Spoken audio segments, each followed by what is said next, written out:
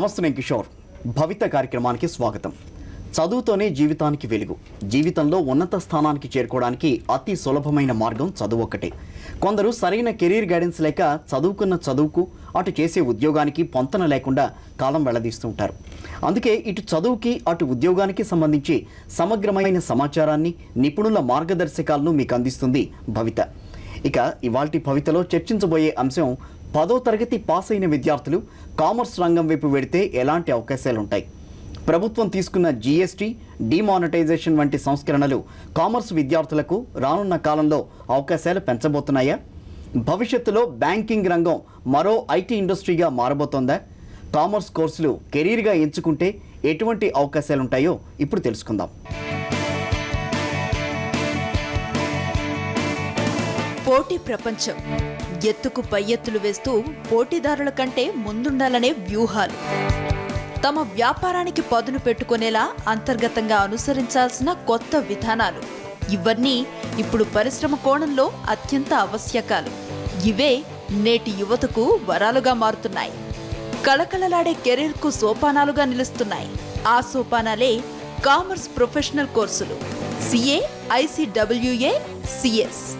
Intermediate గ్రూప్తో సంబంధం లేకుండా పదో తరగతి నుంచే కళకళలాడే కెరీర్కు మార్గంగా నిలుస్తున్నాయి కామర్స్ ప్రొఫెషనల్ కోర్సులు ఇటీవల కాలంలో వీటి అవసరం మరింత పెరిగింది. ఈ కోర్సులు పూర్తి చేసుకున్న అభ్యర్థుల కోసం కార్పొరేట్ సంస్థలు వేయి కళ్ళతో ఎదురుచూస్తున్నాయి. సర్టిఫికెట్ చేతిలో ఉంటే రెడ్ కార్పెట్తో వెల్కమ్ పలుకుతున్నాయి. పదో తరగతి తర్వాత కూడా సీఏ చేయడానికి అర్హత ఉంది. ఒకవేళ విద్యార్థులు పదో తరగతి తర్వాత కామర్స్ రంగం వైపు రావాలి అనుకుంటే ఇంటర్లో ఎంఈసీ లేదా సిఈసి గ్రూపును ఎన్నుకుంటే మంచి ఫలితాలు ఉంటాయి. సిఏ కోర్సులో మూడు దశలుంటాయి. అవి CPT IPCC CA final. MEC తర్వాత చేసుకోవటానికి అవకాశం ఉన్న కోర్సులు. ప్రొఫెషనల్ కోర్సులు CA CMA CS law. General కోర్సులు బీకామ్ బీబీఎం బిఏ బిఎస్సి. ఇక PG MBA MCom MCA MSc పోటీ పరీక్షలు groups civils bank exams DSC అలాగే సిఎస్సి గ్రూప్ చేసిన వారు కూడా కామర్స్ రంగంలో రాణించవచ్చు. సిఏ పూర్తి చేసిన వారికి లభించే హోదాలు ఉద్యోగాలు. కంపెనీలకు managing director finance controller chief account officer marketing manager finance account executive plant accountant system implementers techno functionist. అంతేకాకుండా ట్రస్టీగా అడ్మినిస్ట్రేటర్గా వాల్యూయర్గా మేనేజ్మెంట్ కన్సల్టెంట్గా ట్యాక్స్ కన్సల్టెంట్గా ఉద్యోగ అవకాశాలు ఉంటాయి.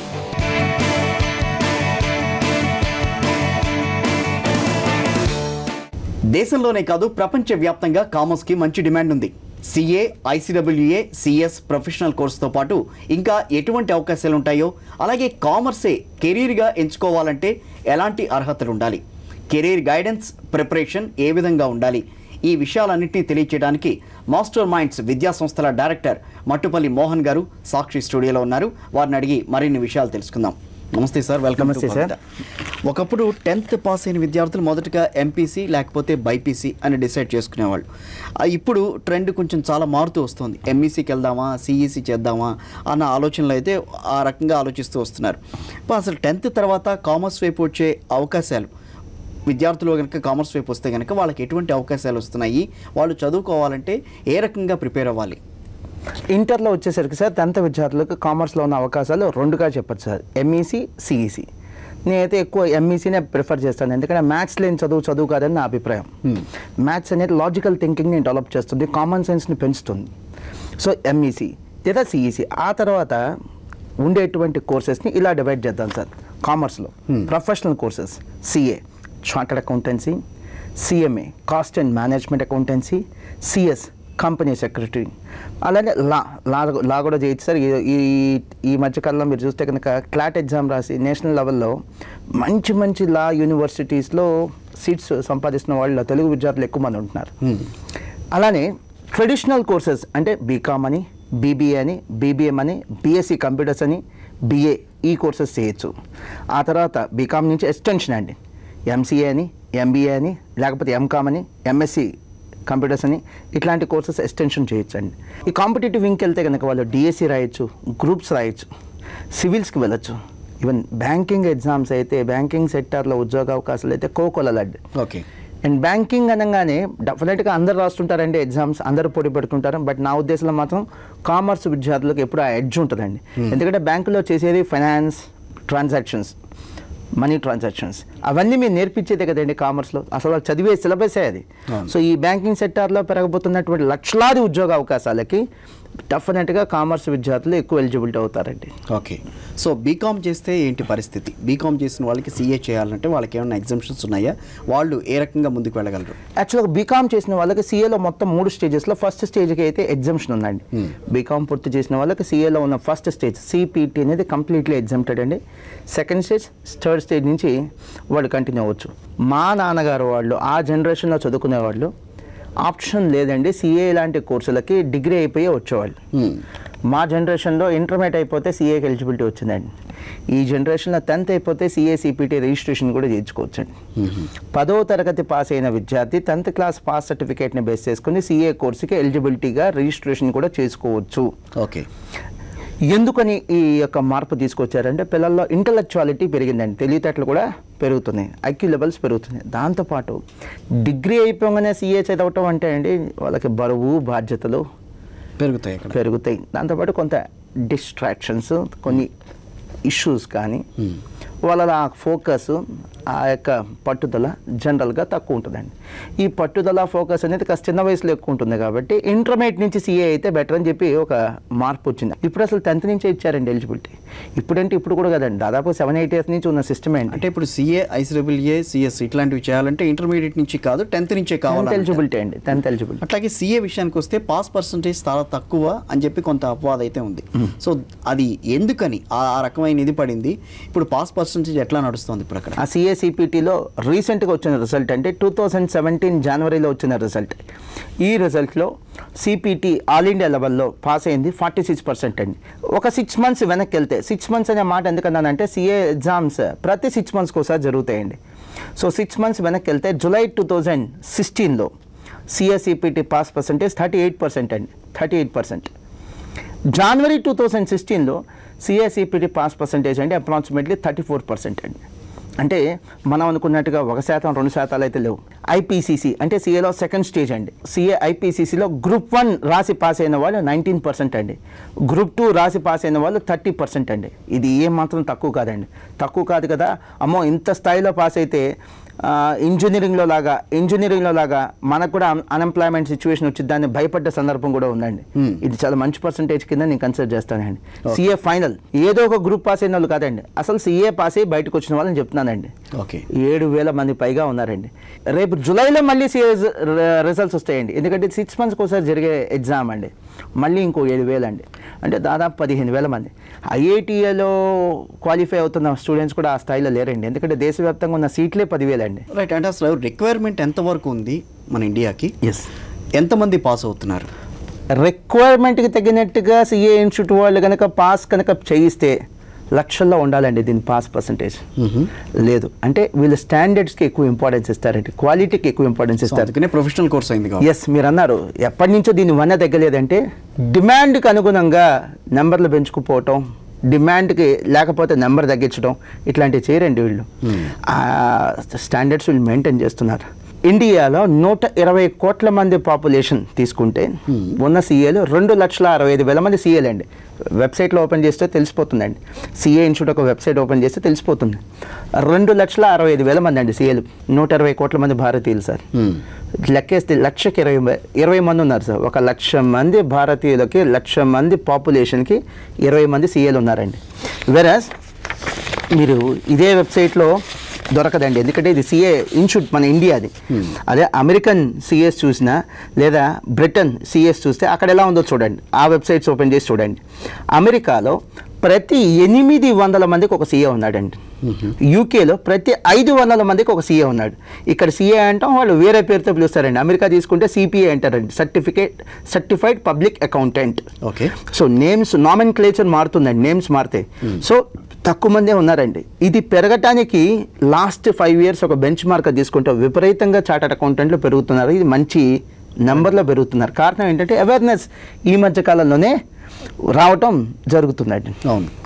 అంటే మిగతా ఇప్పుడు వేరే కంట్రీస్ మీరు ఇందా చెప్తున్నారు బ్రిటన్ అమెరికా. సో ఇక్కడ చార్టెడ్ అకౌంటెన్సీ పూర్తి చేసి ఆ ప్రాంతాల్లోకి వెళ్ళడానికి ఎంతవరకు ఆస్కారం ఉంటుంది? సిఏ అనేవాడు గ్లోబల్ చార్టర్డ్ అకౌంటెంట్ అండి. యాక్చువల్గా చార్టర్డ్ అకౌంటెంట్స్ డీల్ చేసేదే wealth creation and wealth management అండి. Correct. Wealth creation wealth management డబ్బు. డబ్బు లేని ప్రపంచం అంటూ ఉండదు. ప్రపంచంలో ఏ దేశమైనా డబ్బు ఉంటుంది. దాని నామ నామన్ క్లేచర్ మారచ్చు పేరు మారచ్చు కరెన్సీ యొక్క వాల్యూ మారచ్చు. బ్యాంకింగ్ వ్యవస్థలు ఉంటాయి. ఫైనాన్స్ అనేది ప్రపంచవ్యాప్తంగా ఉండేది. సో ఇండియాలో సిఏ క్వాలిఫై అయిన వాళ్ళు ప్రపంచంలో రిపీట్ ప్రపంచంలో ఎక్కడైనా జాబ్ చేసుకోవచ్చండి. రీజన్ ప్రపంచవ్యాప్తంగా డబ్బు డబ్బు యొక్క లావాదేవీలు ట్రాన్సాక్షన్స్ ఉంటాయి కాబట్టి. ఎక్కడైనా ప్రాక్టీస్ పెట్టుకోవాలంటే ఆ దేశం యొక్క లా మన లాతో కంపేర్ చేసే చట్టాలతో కంపేర్ చేసే మార్పులు ఉంటాయి కాబట్టి ఆ దేశంలో జరిగే పరీక్షలు రాసి అక్కడ ప్రాక్టీస్ పెట్టుకోవచ్చండి. Okay. జాబ్కి మాత్రం అలాంటి అవసరాలు అంటూ ఏమీ లేవు.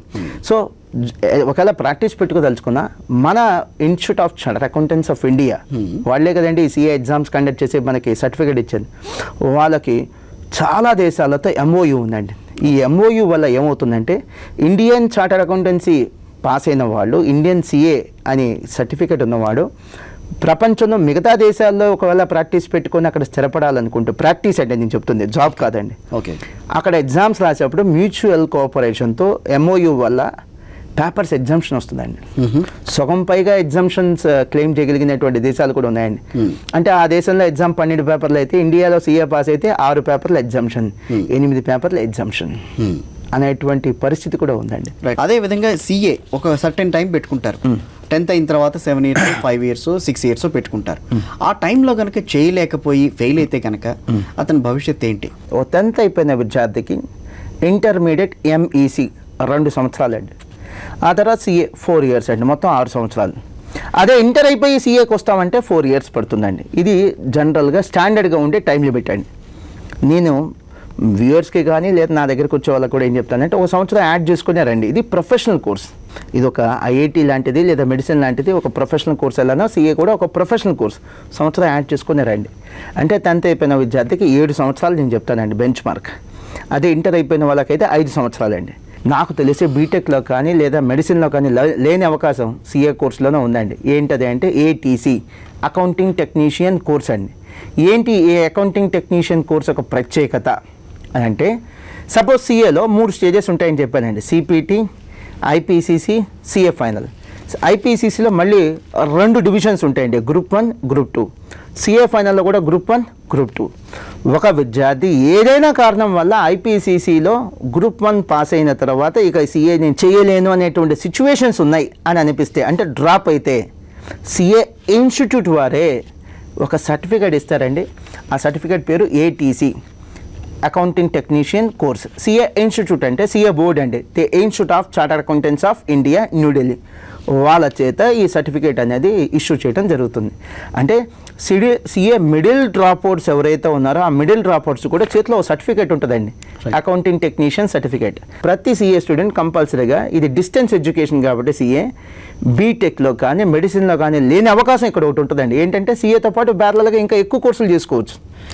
బీటెక్ స్టూడెంట్ అనుకోండి ఆడ ఒక రెగ్యులర్ మోడ్లో కాలేజ్లో చదువుతూ ఇంకో రెగ్యులర్ కోర్స్ చేయడానికి నామ్స్ ఒప్పుకోవండి రూల్స్ ఒప్పుకో. కానీ సీఏ అలా కాదండి. ఇది డిస్టెన్స్ కోర్స్ దీంతోపాటు బీకామ్ చదువుకోవచ్చు. దీంతోపాటు సీఎంఏ కోర్స్ కూడా చేయిస్తున్నాం. సో ఒకవేళ సీఏలో సక్సెస్ కాకపోతే డెఫినెట్గా స్టూడెంట్ నెక్స్ట్ ఏంటి? సీఎంఏ సిఎంఏ కోర్స్తో బయటపడచ్చు. బీకామ్ కోర్స్తో బయటపడచ్చు. బీకామ్ తర్వాత తను కాంపిటేటివ్ ఎగ్జామ్స్కి వెళ్ళొచ్చు గ్రూప్స్కి వెళ్ళొచ్చు లేకపోతే ఎంకామ్కి వెళ్ళొచ్చు ట్రెడిషనల్ కోర్సెస్ లేదా ఎంబీఏ ఎంసీఏ ఎంతమంది బీటెక్ వాళ్ళండి ఎంబీఏ చదువుతున్నారు? అవును. ఈ- మధ్య కాలంలో మనం చూస్తాం జిఎస్టీ డిమానిటైజేషన్ వీటి వల్ల ఉపాధి అవకాశాలు ఏ రకంగా మెరుగుపడతాయి? యాక్చువల్గా ఇండిపెండెన్స్ తర్వాత ఈ స్థాయిలో ట్యాక్సేషన్లో ఇలాంటి రిఫార్మ్స్ రావటం ఇదే మొదటిసారి అండి. దాని పేరే జిఎస్టీ ఆర్థిక రంగానికి ఇది ఒక ఒక ఇంజన్ లాగా పనిచేస్తుంది. ట్యాక్స్ సిస్టమ్ రీజనబుల్గా ఉండటం వల్ల ఎక్కువ మంది ట్యాక్స్ పేయర్స్ పెరుగుతారు. ఇలాంటి మంచి మాటలు చెప్తున్నారంటే వాస్తవంలో వీటిల్లో చాలా వరకు వాస్తవాలు కూడా అండి. ఒక కిక్ ఒక పుష్ అయితే ఉంటుందండి. దేశంలో జిఎస్టీ వల్ల ఒక మ్యానుఫ్యాక్చరింగ్ కన్సర్న్స్కి కానీ ట్రే- ట్రేడింగ్ కన్సర్న్స్ కానీ ఒక పుష్ అయితే ఉంటుందండి. ఓకే. దాంతోపాటు ఈ కామర్స్ విద్యార్థులకు జిఎస్టీ అనేది ఒక డెఫినెట్గా ఒక బ్యాక్ బోన్ లాగా తయారవుతుంది. వరం లాంటిది? వరం వరం కరెక్ట్ మాట అన్నారండి. వరం లాగా వస్తుందండి. ఎందుకంటే ఉపాధి అవకాశాలు పెరుగుతాయండి జిఎస్టీతో ఎస్పెషల్లీ కామర్స్ విద్యార్థులకి. జిఎస్టీ వల్ల వ్యాపారం చేసేటువంటి వాళ్ళు ఫైల్ చేయాల్సిన రిటర్న్స్ పెరుగుతాయండి. దాంతోపాటు ఎక్కువ రిటర్న్స్ ఫైల్ చేయటం అంటే ఎక్కువ మంది కామర్స్ విద్యార్థులకి అవకాశం పెరిగినట్టండి ట్యాక్స్ పేయర్స్ పెరుగుతారండి. ఎక్కువ మంది ట్యాక్స్ పేయర్స్ అంటే సీఏలకి అవకాశం పెరిగినట్టండి. ఇదివరకు విధంగా ఇదివరకు చేసినట్టుగా ట్యాక్స్ ఎవేషన్ ట్యాక్స్ కొట్టడం జిఎస్టీలో అయితే అంత సులభం కాదండి చేస్తారని కూడా నేను అనుకోనండి. దీనివల్ల ఏమవుతుందంటే ట్యాక్స్ పేయర్స్ పెరుగుతారండి. ట్యాక్స్ పేయర్స్ పెరిగితే ఫస్ట్ ఉపాధి అవకాశం లభించేదే కామర్స్ వాళ్ళకి ఎస్పెషల్లీ సీఏలకండి ఓకే.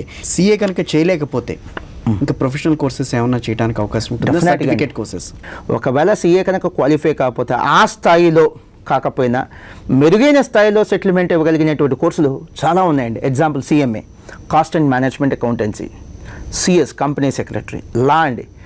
ఒకప్పుడు ఉన్నటువంటి ట్రెడిషనల్ లా వేరండి ఇప్పుడున్న లా కోర్స్ వేరండి. నేషనల్ యూనివర్సిటీస్ వచ్చేసినాయి సెంట్రల్ యూనివర్సిటీస్ వచ్చేసినాయండి. ఇలాంటి ఉపాధికి ఏమాత్రం డోకా లేనటువంటి ప్రొఫెషనల్ కోర్సెస్ సిఏ కాకపోతే అని ఆలోచించే విద్యార్థికి ఎప్పుడు ఉన్నాయండి అవకాశాలు ఉన్నాయి. రైట్ ఒక ఎంపీసీ విద్యార్థి ఉన్నాడు. సిఏ లేకపోతే ఎంబీఏ చేసే విద్యార్థికి కానీ ఎంఈసి సిఈసి చదివిన వాళ్ళు వాళ్ళు సిఏ చేస్తే గనక వాళ్ళిద్దరికి మధ్య డిఫరెన్స్ ఏమన్నా కనిపిస్తూ ఉంటుందా? డెఫినెట్లీ. అండి యాక్చువల్గా సిఏ చదివే విద్యార్థుల్లో డెఫినెట్గా ఎంఈసీ సిఈసి నుంచి వచ్చే వాళ్ళే కాదండి ఎంపీసీ బైపీసీ నుంచి వచ్చే వాళ్ళు కూడా ఉన్నారు. వాళ్ళు కూడా సక్సెస్ అవుతున్నారండి. కానీ వాళ్ళ సక్సెస్ రేట్ ఒక ఎంఈసీ సిఈసి స్టూడెంట్తో కంపేర్ చేస్తే కొద్దిగా తక్కువనే చెప్పాలండి. ఓకే. అంటే అవకాశాల విషయంలో కూడా అట్లాగే ఉంటుందా? అవకాశాల్లో తేడా ఉండదండి. ఎందుకు. క్వాలిఫికేషన్ చేతిలో సర్టిఫికేట్ ఉంటే ఆడ ఎంఈసీ నుంచి వచ్చాడా సిఈసీ నుంచి వచ్చాడా ఎంపీసీ నుంచి వచ్చాడా అనేది ఇట్ మేక్స్ నో డిఫరెన్స్ అండి. ఎందుకు ఎంఈసీ సిఈసీ నుంచి వచ్చిన వాళ్ళకి సక్సెస్ రేట్ ఎక్కువ ఉంటుందంటే చాలా సింపుల్ కామన్ సెన్స్ అండి. ఎయిత్ క్లాస్ నుంచి ఐఐటి ఫౌండేషన్ ఎందుకండి? ఎందుకంటే ఐఐటీలో సక్సెస్ రేట్ పెరగడానికి ఫౌండేషన్ అనేది ఉంటే వాడికి ఫోకస్ ఉంటుంది. ఓ నేను ఐఐటి చదవాలి. నేను ఐఐటి అవ్వాలి. ఫోకస్ ఉంటుంది. ప్లస్ కోర్స్ యొక్క సిలబస్ కూడా ముందు నుంచే ప్రిపరేషన్ కనుక స్టార్ట్ చేస్తే వాడికి కాస్త ప్రెషర్ తగ్గుతుంది. ప్లాన్డ్గా ప్రిపరేషన్ ఉంటుంది. ఎంఈసీ కూడా అంతే అండి. ఓకే. నేను సీఏ చదవాలి అని ఒక ఫోకస్ టెన్త్ నుంచే ఉంటుందండి. తర్వా- తర్వాత ఆ సిలబస్ మేము ఇంటిగ్రేటెడ్గా చెప్తాం కాబట్టి అటు సీఏ ప్లస్ ఎంఈసీ కలిపి చెప్తాం కాబట్టి సిలబస్ షేర్ అవుతుందండి కాస్త ఈజీ అనిపిస్తుందండి.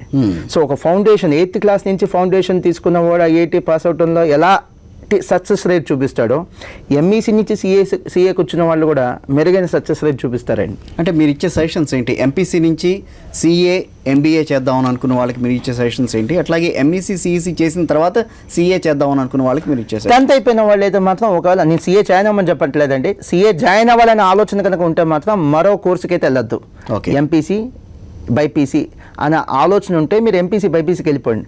సీఏ అనే ఆలోచన ఉంటే మాత్రం ఎంఈసీ సిఈసీకి మాత్రమే రండి. Hmm. టెన్త్లో మాకు ఇంత అవేర్నెస్ లేదండి అనుకుంటే లేదా ఈ మెడిసిన్లో సీట్లు మేము ఇంత ఫైట్ చేయలేమండి ఐఐటీలో సీట్లు ఇంత పరిగెత్తలేం అని మీకు అనిపిస్తే ఇంటర్మీడియట్ అయిపోగానే ఇంటర్మీడియట్ అయిపోగానే అప్పుడైనా సరే మీరు సీఏ కోర్స్కి రావచ్చు. థ్యాంక్ యూ వెరీ మచ్ అండి. అసలు ఎంపీసీ చేసిన వాళ్ళకి వాళ్ళు సీఏ చేయాలంటే ఎటువంటి జాగ్రత్తలు తీసుకోవాలి. అట్లాగే ఎంఈసీ సిఈసి చేస్తే కనుక సీఏ చేయాలనుకున్న ఆలోచన ఉన్న వాళ్ళు ఎటువంటి శిక్షణతో ముందుకు వెళ్ళే అవకాశం ఉంటుంది. దానికి సంబంధించి టెన్త్ పూర్తయింది కాబట్టి ఈ రోజుల్లో చాలామంది ఆలోచిస్తూ ఉంటారు.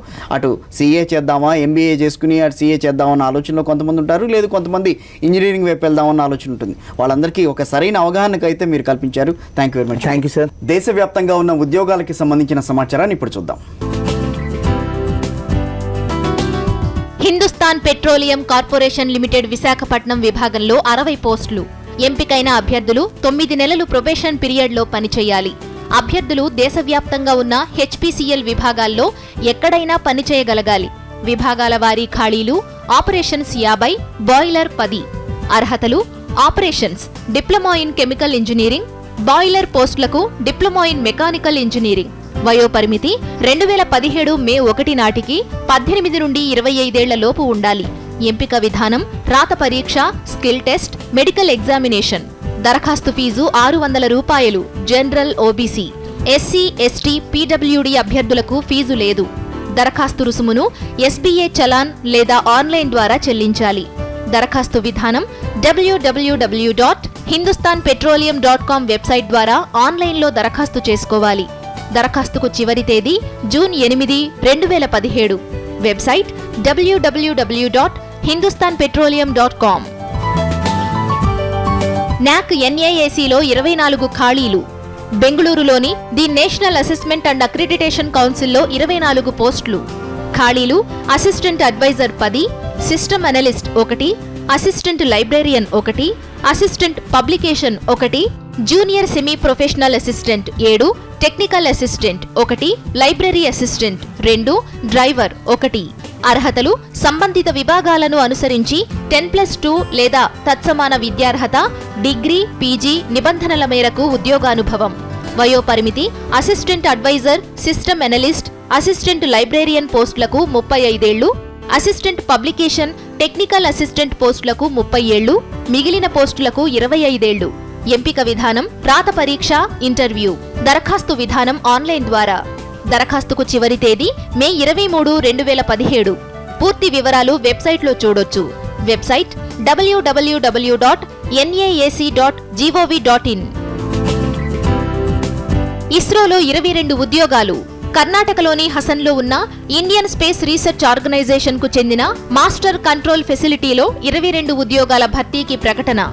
ఖాళీలు టెక్నికల్ అసిస్టెంట్ రెండు టెక్నీషియన్ పంతొమ్మిది డ్రాఫ్ట్స్మెన్ ఒకటి. అర్హతలు పదో తరగతి లేదా తత్సమాన విద్యార్హత. సంబంధిత విభాగాల్లో ట్రేడ్ ఐటీఐ ఎన్టీసీ ఎన్ఏసీ ఉత్తీర్ణత.